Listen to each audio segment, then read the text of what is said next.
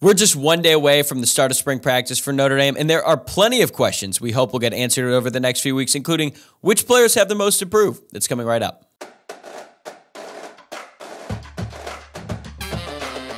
You are Locked On Irish, your daily podcast on the Notre Dame Fighting Irish. Part of the Locked On Podcast Network, your team every day.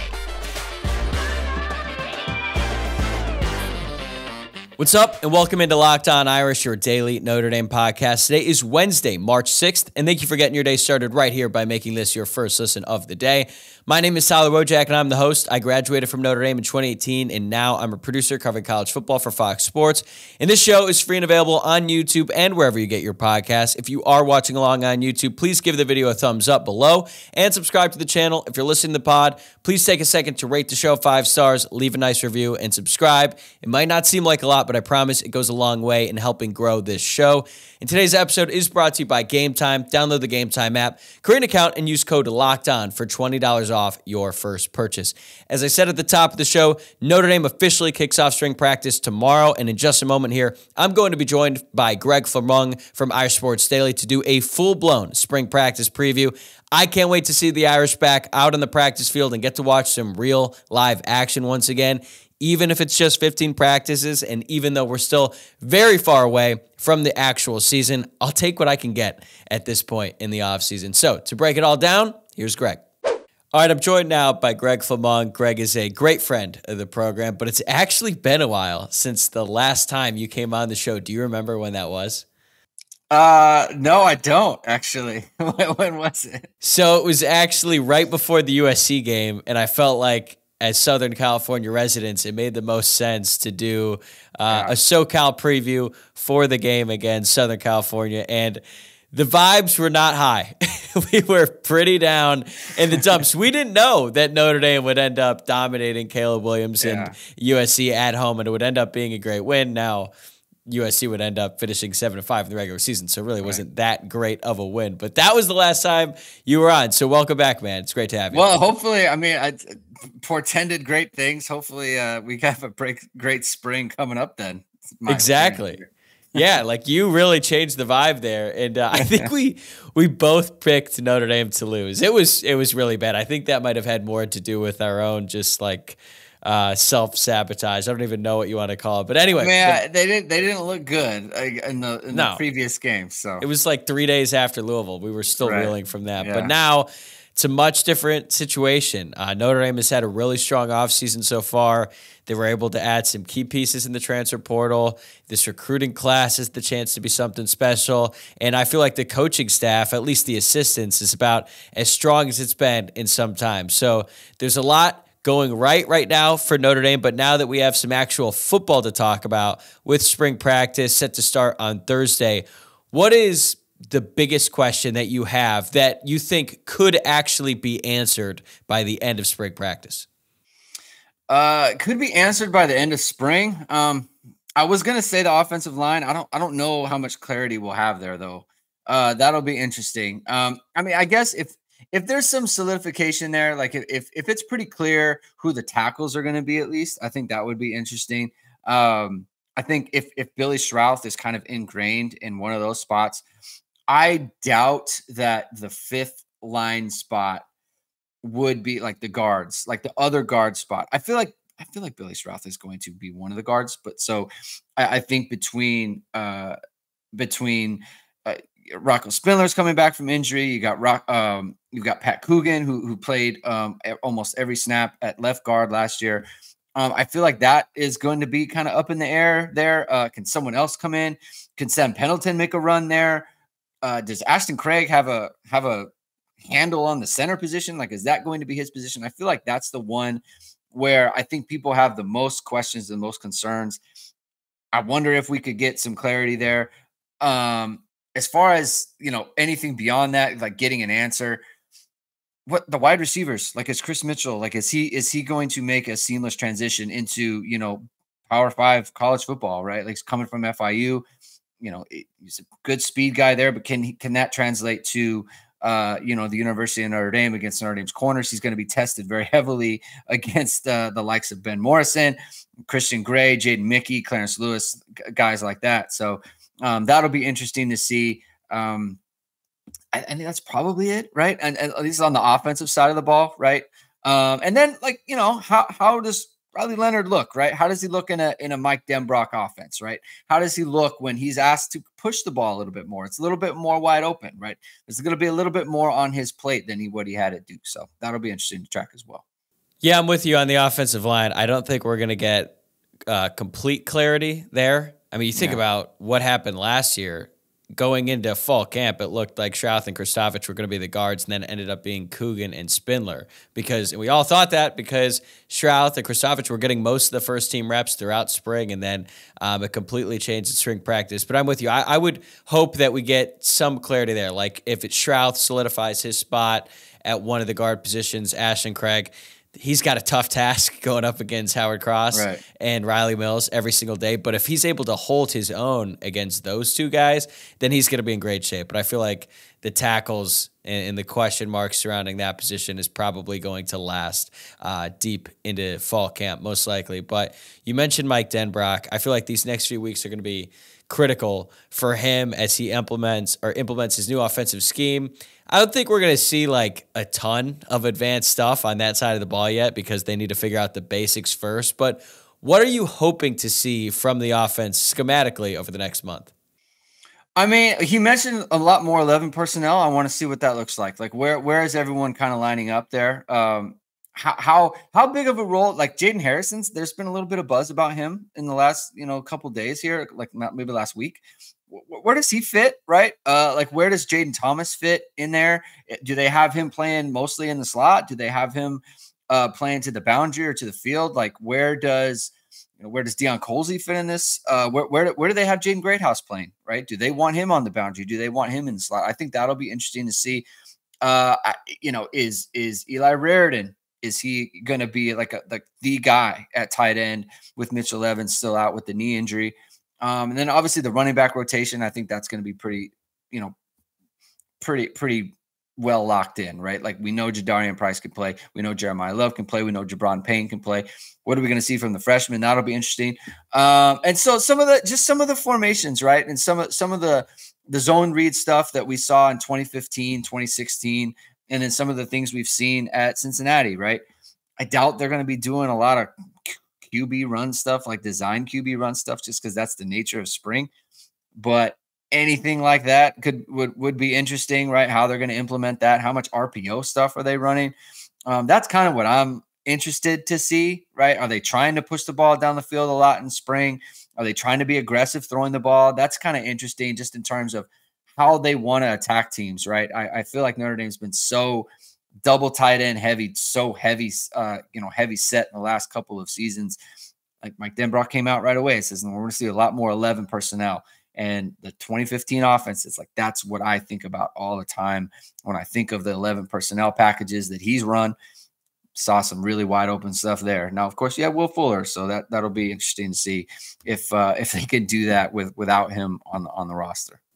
Yeah, it's going to be interesting to watch the offense and how they sort of approach everything, especially considering the fact that Riley Leonard is expected to be a huge uh, asset in the running game, but you really can't do a ton with that in spring right. practice because he's going to be wearing a red jersey. And the QB situation today feels a lot like it did last year. It's going to be called a quarterback competition, even though nobody really thinks it's an actual competition. And I do expect it's going to be wrapped up by the blue and gold game, even if it's not as one sided as it was last year with the way that Sam Hartman completely outperformed Tyler Buchner in in the blue and gold game. Maybe not so much throughout the entire spring practice session, but after that game, that competition that competition was over. So, how do you see the battle between Leonard and Angeli playing out over the course of the next few weeks? I, I think it's kind of like you said, like. Eh, it's very hard for Steve Angeli to to kind of bridge the gap in athleticism. You know, it, it the, the, the legs of Leonard are just something that are an X factor in the offense. Period. Right, like you want that, and I think that it adds so much to what Notre Dame wants to do in the running game as well. It's just going to be very hard for for Steve Angeli to compete with that. In in a lot of ways, to me, the the more interesting kind of storyline with the quarterbacks as far as the competition goes is between Minchey and Angeli, right? And Minchey's gotten a lot of buzz in the last couple weeks as well.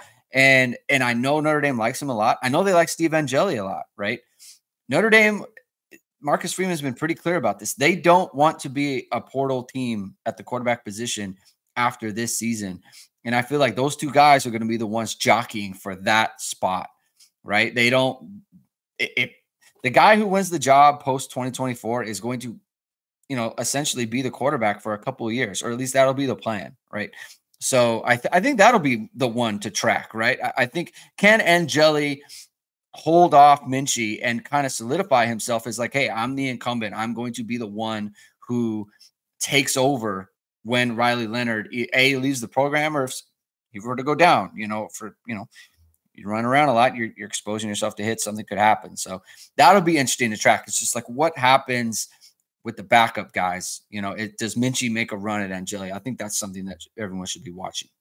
Yeah, that's a great point. It's a great segue into the next question I want to ask you because there's a lot of guys on offense who have a lot to prove this spring, and Kenny Minchey is one of the leaders among them because if he's not able to really crack the two deep in this spring practice, there's a good chance that he might be out the door.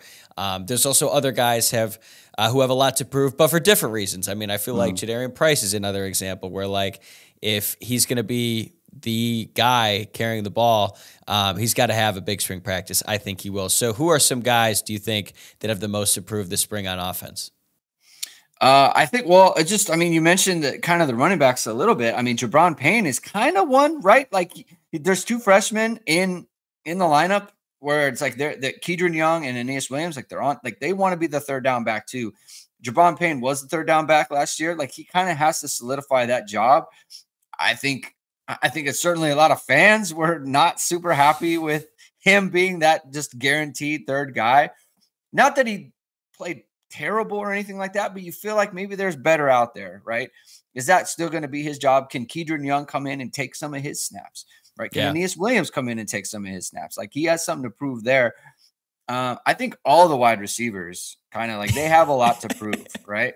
The position um, has a lot to prove. They do, right? I'm with I mean, you. I, yeah. There, there's there's Notre Dame wants to be a wide open team. They want to throw the ball more. Well, you got to you, you got to be open, right? Like you got to be able to make plays. Mike Denbrock is very good at scheming guys into good matchups, right? But you do have to take advantage of those matchups, right?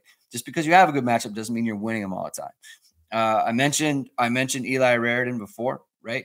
Can he, you know, he he it's not like he played all last year, right? Like he came in halfway through because he had an, knee injury of his own. Uh, he's had a couple knee injuries actually. So like, is he going to be able to kind of be the guy there? And and it's like, okay, this is I'm going to be tight end one until Mitchell Evans comes back, and even beyond that, right? So there's something there. I think Charles Jagusah, a lot to prove, right? Like there's they put him at left tackle for the bowl game. Are you going to be the left tackle for you know the, next three years the next two years right? Like is that going to be your spot? Like there's got to be stuff there. So um, there's a there's a lot going on on offense. There's a lot to be happy about but there's a lot to track let me tell you. We'll be right back with Greg to talk more about Notre Dame spring practice, but I wanted to take this opportunity to tell you about Game Time. Game Time is the fast and easy way to buy tickets for all the sports, music, comedy, and theater near you. With great deals on last minute tickets and their best price guarantee, you could stop stressing over the tickets and start getting hyped for all of the fun you're going to have.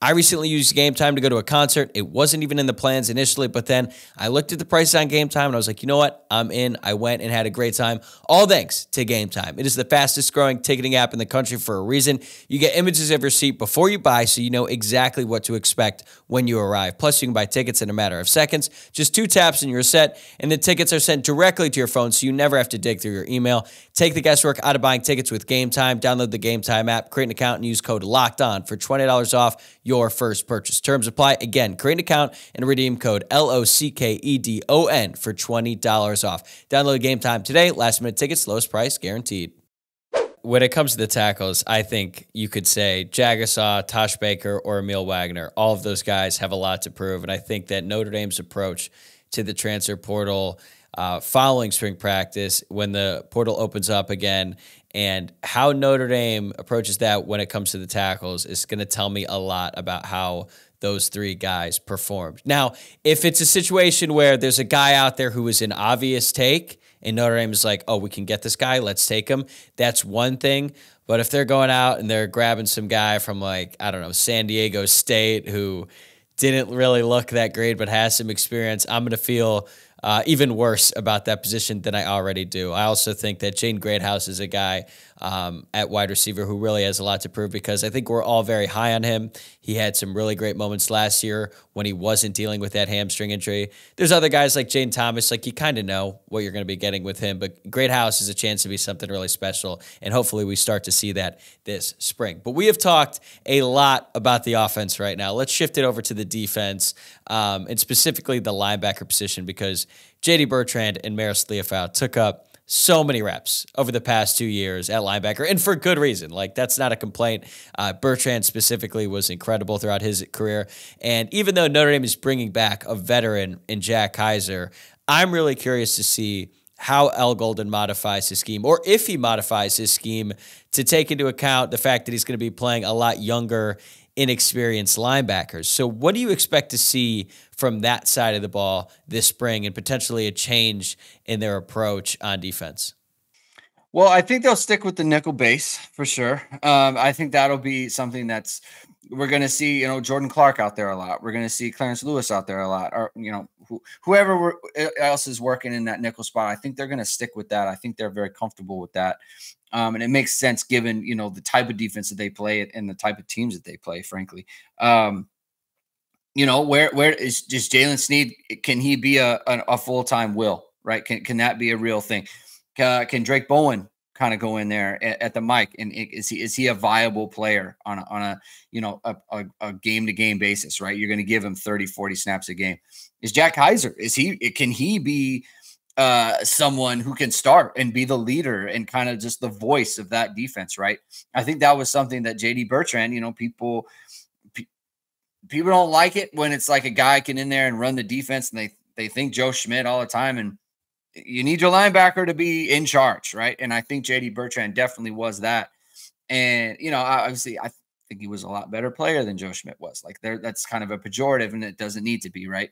But can Jack Kiser fill that role? Can he be kind of the best linebacker on the field and also be the voice of the defense? That that'll be something interesting to see there. Um, you know, as far as changes to the defense, it, it I think a, a, big part of that is the development of a Don Shuler, right? Because you you have Rod Heard who's going to be coming in, but he's not on campus yet and so he's he's not available for Notre Dame. He can't participate in spring ball. He's going to be there in in the, in the fall when when fall fall camp starts. Can Adon Shuler can he develop enough to where it's like okay, he's going to be our third safety. Notre Dame loves playing three safeties, right? Can he be that guy? I think he's going to get the first crack at it. I think when when the first team defense goes out there, I think he'll be next to uh, he'll be next to Xavier Watts because you know DJ Brown, Ramon Henderson, yeah. DJ Brown. Someone's gotta out of out of eligibility, and DJ and, and Ramon Henderson's at UCLA. So someone's got to be out there, right? And I think that he's kind of one where if if they don't feel confident in him, and they maybe they can't play those three safeties, right? Like maybe that's something that they can't do, um, and so that that's going to be interesting to see in terms of the difference in defense. And you know, last year, just kind of the last point, um, and another difference is that we saw they played a ton of man last year, ton of man defense, right? They were very comfortable with Thomas Harper and man. They were very obviously very comfortable with Ben Morrison and Cam Hart and man. Cam Hart's gone. You still like to play Ben Morrison and man, that's no problem. But can you can Jaden Mickey hold up there? Can Christian Gray hold up there? Right, that's going to be something to monitor. Can Jordan Clark hold up there? Can Clarence Lewis? Like that's something. If Notre Dame, if if Al Golden doesn't feel completely comfortable playing man with these guys, that's going to lead to some changes in the defense. That'll be interesting to track as well. Yeah, and you you've already sort of alluded to this already. I was going to ask, you know, which players on defense are you most excited to watch because, you know, even though Notre Dame returns a ton of production on that yeah. side of the ball, there's still there's still some question marks on defense. You mentioned a few of them. I think safety it's a little bit weird to say it's a big question mark right now because they bring back Xavier Watts, who's one of the best safeties in all of college football last season, despite the fact that he somehow wasn't a semifinalist for the Jim Thorpe Award. Different story for a different time. Yeah. And then they're going to have a guy like Heard who's just not around um, during spring practice. And it's going to be the same on the offensive side of the ball. Beaux Collins is also not going to be participating in right. spring practice with the receivers. So those are two guys who you can count on being there in the future. But now you get a chance to look at some young guys. But I feel like Jordan Botelho has a lot to prove as well. Um, he's been around for a long time, brings back a ton of experience, but um, if he doesn't have like an Asmar Bilal type leap season, whatever you want to call it, I have a feeling that he could get jumped. Maybe not at the start of the season, but at some point by younger guys like maybe uh, Abubakar Traore uh, or some other some other player because you know he just Notre Dame needs a lot of production at the Viper. They need some explosive plays. So you know, Botelho is one guy who I'm really going to be looking closely at over the spring. Who sticks out to you? Uh, is a good a good example, right? And that's it's a good point because you know it, it, Josh Burnham is there as well. So you got Boubacar Traore, who they're very excited about. Josh Burnham, who they're very excited about. You know, he was one of those 2022 class guys that came in that everyone was very excited about. Uh, Junior Tuihalamaka is another one where it's like, where how do you fit in here? You know, like he's got to fight for reps as well. Um, and and I think you know Botelho as well, like if he's if he can't show what he showed, you know, kind of in in in limited reps in 2022, he he was one of the more dynamic pass rushers on the team, you know. And last year it just wasn't there. Um, there was some kind of chatter about some injuries. Maybe he was carrying an injury all year. You know, not really sure about that. But if that was the case, then we, you know, the the the, the team needs to see more of that kind of that dynamic pass rush ability from him. And if he doesn't show it, Josh Burnham is there, Boubacar Traore is there, right? You have RJ Oben on the other side, so like they're gonna have a lot of pass rushers, or at least at least guys who you know pretend to be pass rushers, right? So that'll be interesting to track there. Um, obviously, we kind of know what we're getting from Howard Cross. We know what we're getting from Rylie Mills inside, uh, but you, have got some other guys in there. Uh, can, can, they bring something, right? Can, can they add something inside? Maybe a Donovan Hinish right? As you know, guys like that. Um, so Jason Onye is another guy. Uh, yeah. Uh, so I, am really like, excited to see what he can do. Onye. Right. And then you have Brenan Vernon, right? Yeah. What's he? What's he? What's he got in the tank there? Right. What's it? what's what can he bring? Can Tyson Ford bring something? Right. It's a very big spring for him as well. Am I a viable player at Notre Dame? Right. So there's a lot to track there, but I think the defensive ends, though, they're going to be really like is, is there something there where Notre Dame has guys on like first and 10 who can get after the quarterback and Notre Dame doesn't have to do a bunch of sim blitzes like we see on third down. That's it's a good thing to do on third down because it's you know they're kind of throwing, but on first down you can run and throw. Can you get pressure in, in that kind of situation? Since we're on the topic of pass rushers, Jaylen Sneed is very good at getting after yeah. the passer, but Notre Dame needs him to be a little bit more than that. They need him to be a complete linebacker. He came into Notre Dame with a ton of hype, five star prospect, top rated recruit in his class. But from day one, I think everyone had an understanding that Sneed had some developing to do physically because he came in underweight and we knew that he was a really explosive athlete, but it was going to take some time. Okay, so now we're entering year three with him. To me, this spring, kind of feels like now or never. And I don't want to say that, oh, he's going to, you know, transfer after spring like Prince Kollie or anything like that.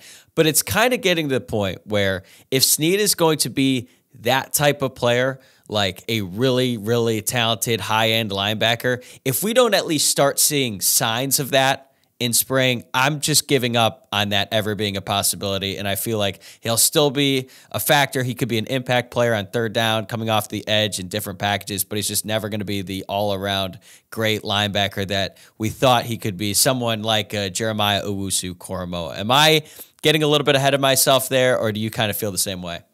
Well, I think it's true just because there are so many options ar- around him, right? Like Drayk Bowen is there; he could play well. Uh, Kingston Viliamu-Asa, he could play well, right? Um, Jaiden Ausberry could play well. Preston Zinter could play well. They have a lot of options, right? So I, I think that what you said is true. He'll always have some kind of a role within yeah. the defense, a big role, right? I mean, I, I think he'll be in sub packages in 2024, yeah, no like no question. Uh, but you're right. Like if he doesn't show the aptitude to uh, re, you know, make the proper reads, make the proper run fits, right? Uh, be disciplined, uh, track the ball, be be an, a, someone who can play make darting into the backfield, right? Like making those kind of reads. If he can't do it now, there are other players who can who are going to pick it up. Like they have a lot of talent at linebacker. So it is it is a kind of a time where you know people have pointed out like this is he's on the JOK timeline. JOK did not uh did not really it didn't really click for him until his third year. Right now, Jaylen Sneed's going into his third year, right? So eh, you don't want to a you don't want to panic. It, it's it, it's kind of funny. We're we're in a don't panic, but also like be urgent type of situation with him. Yeah, it's like it, it does need to happen, and it does need to happen soon but it, he's not like either behind schedule per se either. So uh, it, it's something to monitor. And I will say, like, there has again, there's been some chatter about him having kind of like he's starting to turn that corner. At least the, the people around the program feel that. So that'll be something very interesting to monitor throughout the spring.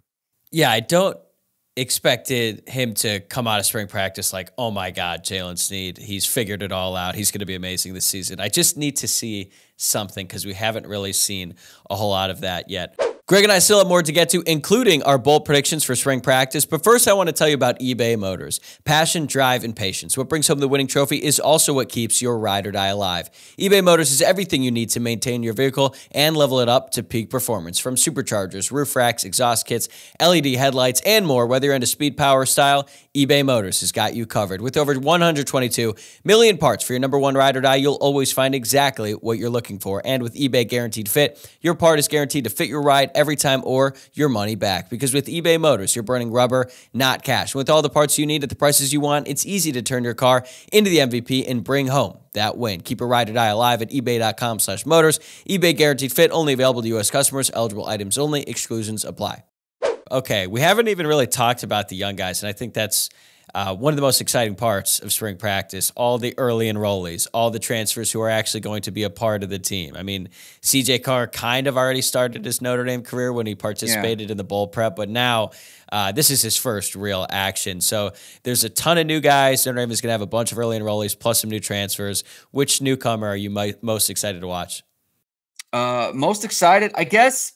I'm I'm excited to hear about uh, you know, Micah Gilbert and Cam Williams. Is there something there where it's like they're gonna they're gonna contribute in 2024? Because I think in previous years, like we kind of saw with Tobias Merriweather, it was like, well, I really hope so because there's no one else. You know, we need it. There's no, there's no one else. there was actually expectations and pressure like hey yeah. you have to figure this out or else right. we have no one and it was and it was kind of the same with uh rico flores and jaden greathouse right like we we yeah. need this because there's there's not a lot in front of you i think with cam williams and and micah gilbert now there are guys in front of them guys who can play and guys who have played well you know at notre dame or in college football before them right so if they're not fully capable yet then that's okay right but if if if you know we start to hear like hey they're gonna have to they're gonna have to find a way to get these guys on the field like that'll be interesting.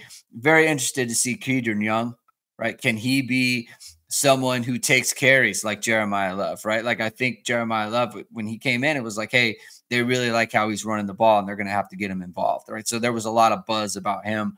And I think KVA is another one where it's just kind of there's a lot of buzz about him in just terms of like where he is uh, physically, like he's physically ready to go if he can pick up the defense. Uh, Max Buller was talking about how you know KVA played a shell kind of cover uh, shell defense of what Alabama runs at St. John Bosco. Seems like he can pick things up really quickly. So I would say those those four people are are the guys that I'm kind of monitoring in terms of, and then and then Br- uh, Bryce Young as well, right? Does he have something? Can he show the ability to get off the edge and and and attack the quarterback? Because if yes, they're going to find a way to get him on the field as well. Yeah, if Bryce Young is getting reps and third down packages at any point during the fall, uh, that's incredible because yeah. of all the experienced guys that Notre Dame has in front of him. Right. It would be totally warranted by his talent level. And on offense, I think, you know, there's a chance for guys like Cam Williams, Micah Gilbert, Kedren Young, maybe even Aneyas Williams to make a dent. And it, it sort of suits – uh, early playing time for freshmen, specifically those positions and running back because we know Deland McCullough likes to rotate. I'm obviously very high in KVA, and the way that people talk about him out here in Los Angeles is like he is going to be a player from day one. It's just a little bit hard for me to imagine a true freshman linebacker. It's not like it's never happened before, and I still think, you know, KVA is going to get on the field this year, but do you see a path for him to eventually take over a starting linebacker job? Is that realistic, or do you think that's maybe fans getting a little bit too excited about a young, very promising freshman? Without injury, I, yeah. I I don't I don't know, you know, because I could see him being a part of the rotation, right? I could see him getting some some will snaps or some Mike snaps to where it's like, hey, it, it kind of like Christian Gray last year, where it's like you're getting in the game. I don't care where it is. I don't care if we're at Clemson or we're at Texas A&M. You're getting in the game. Like we're we're definitely playing you. It doesn't have to be a blowout. It doesn't have to be you know at home or any of that stuff. We're putting you in the game. I could see that, but it's just like uh, they're probably going to put him at Mike and they're probably going to put him behind Jack Kiser. Jack Kiser's probably going to be a captain, right? It, it, just to take to take the starting job away from someone like that would just be he would he would he'd have to be better than Manti, right? Like he would have to be better than him. Uh, and I'm not saying that's not true or whatever, but like Manti didn't even like I think Manti was kind of an injury guy as well. Like there were there were yeah he came in later. Team. Yeah, so it, it just like, I don't know if he could take the starting job, but I could definitely see him being like, "Yeah, we're gonna get you. We're definitely getting you 20 snaps a game," and that would honestly that would be fine. Like that would yeah. be great. Yeah, because correct me if I'm wrong. I think Jaylon Smith was the last true freshman linebacker to start day one. And even with Smith, I think he started from day one because Danny Spond suffered like a career ending injury. Like he even he like would have had to sit. Yeah, yeah, he had something. He was going to be sitting behind him. I mean, look, Kyle Hamilton is a, another example, like not linebacker, but like he came in and obviously he was starting caliber, but they had Alohi Gilman and Jalen Elliott there, and they were two captains. So it's like, but of course, like he played 500 snaps that year, right? So you, find ways to get guys like that on the field, and I think they'll find a way to get him on the field. If he's if he's as good as we everyone says, and kind of like is predicting right now, or at least thinking is possible, he'll he'll get on the field. He'll play a lot. Yeah, I feel like if he's going to take reps away from anyone, it's probably going to be Drayk Bowen. And I don't even have a complete understanding of what Drayk Bowen's involvement is going to be in spring practice because he is in the middle of a baseball season with the Notre Dame right. baseball team. So it's going to be really interesting to follow over the course of these next few weeks. I have one last question. And I'm almost hesitant to ask because I asked you the same question last year. I actually went back and looked. You came on for the spring practice preview, and basically, I asked you to give a bold prediction. Uh, and you said you expected Tyler Buchner to have a big spring. And that was actually pretty accurate up until the spring game. Up until when, the spring game. Yeah. Everything right, just yes. kind of cratered. But the talk about Tyler Buchner going uh, into that game was actually really encouraging. So that was a good pick. Mine. Okay. So, so real Go quick. ahead. Go ahead. J- Jamie. Uh, so, Jamie on, um, Jamie on, uh, I don't know if it was on Power Hour or if it was on Hit and Hustle this week he said again, and this is totally unrelated. Like, really, I didn't know you were going to bring this up because I totally forgot I had said that. But he was like, Buchner had been out. He got so many reps in the spring because he had been outplaying Hartman. He was outplaying him. But then eh, Hartman, I think, had a, like a really good like last yeah, scrimmage. that scrimmage the, when everything and, started to change. The blue and gold yeah. game and then he that's when he decided to transfer and that's when everything went back. So it was a correct prediction uh, up until the last one. So what, what was, was, yours? it was better than mine. Okay. I said i thought that kaleb smith the virginia tech transfer was going to be wide receiver one by the end of spring ball. Instead he quit the team because he realized he wasn't going to see the field at all that that was tough. So I ask you again, Greg. Give Very me a tough. bold prediction uh, on the way out. Bold prediction. Um, all right, let me let me try to think of a good one here. All right, all right. I have I have one on on defense. I think Christian Gray. You stop, dude. You can't take mine. Oh, finish no. it. Finish it. Finish we, it. we Finish it. I, I think Christian Gray. People are going to be raving about him in the uh in the just like throughout the the proceedings. I think I think there's going to be a lot of buzz about him and uh what he can do. I think he's they're going to put him opposite Ben Morrison, and I think people are going to be like, you know, uh predictions, uh superlatives, wha- whatever. Like that, people are going to be making proclamations, best corner tandem in the history of whatever. I, I think that's Okay. what it's going to be. I, I think he's he's he's prime. All right, so that's basically exactly what I have. I, I literally said I have written down Christian Gray is this year's Xavier Watts, where Mm. last year during spring ball, the talk around Xavier Watts was not only is he going to be the starter, he is something special and he's going to be one of the best playmakers on the entire team. So I feel that way about Christian Gray. And I can't even get mad at you for taking the same one as I did. If anything, I actually feel better now because my one last year was so hilariously bad that I feel a little bit more comfort knowing that you and I are seeing things eye to eye here because yeah, I really I just think that the the potential competition between Gray and Mickey, I think that's going to last like a week. And then it's going to be like, okay, so Gray is going to be on the field. Mickey's still going to be a critical piece. He's going to see the field a lot on defense this year.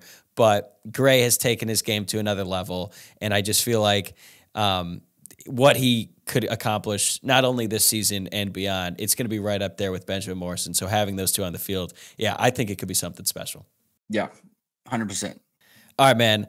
We'll end it there. You can follow Greg on X at Greg2126. You can check out his podcast, Hit and Hustle, that he does with Jamie Uyeyama for Irish Sports Daily. It has been a pleasure, man, and uh, get some rest. This is pretty late. So uh, talk to you again soon. For sure, brother. Happy to be on again. Okay, that's a wrap for this episode. Thanks again for making Locked On Irish your first listen of the day. I'm going to have Luke Smith back on the show tomorrow to do more spring practice preview content. So make sure you tune in to that tomorrow morning. Remember to subscribe to the show on YouTube or wherever listening to the podcast and follow the show on X at Locked On Irish, on Instagram at Locked On Irish Pod. My personal X account is at Tyler W O J C I A K. I'll see you guys tomorrow.